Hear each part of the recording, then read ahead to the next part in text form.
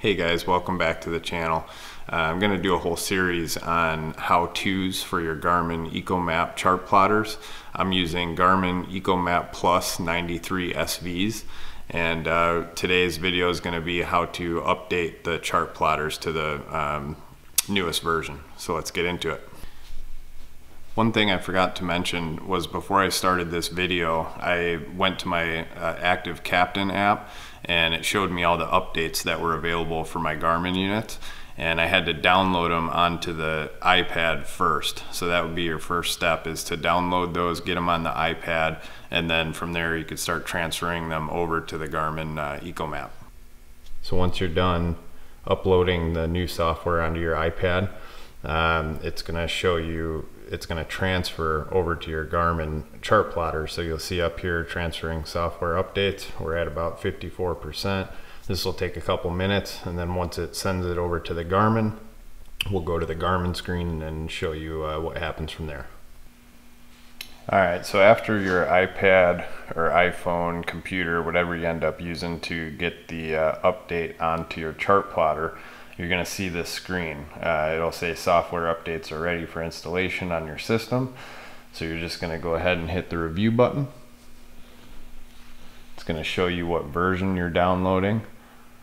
This one's the new version 1030.0. So now we're just going to go ahead and hit the install now button. It says the update takes a long time to complete and must not be interrupted. So you can't shut your Echomap Plus off during the download. So we're going to go ahead and hit yes for continue. And it's going to go ahead and download.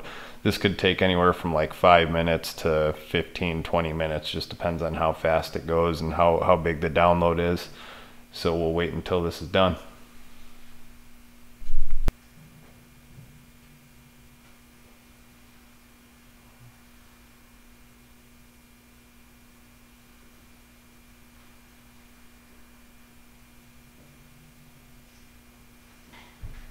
Now that that's finished, it'll restart the Garmin.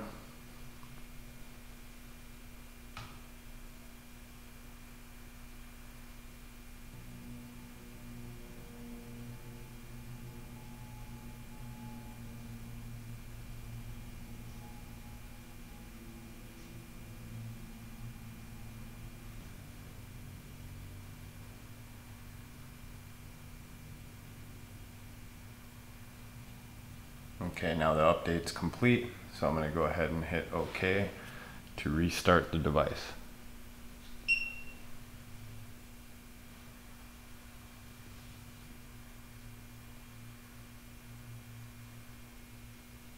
It'll show you the version it's currently running. Make sure that's the new version you're supposed to get on the chart plotter. This is just the normal screen when you turn it on. Hit agree.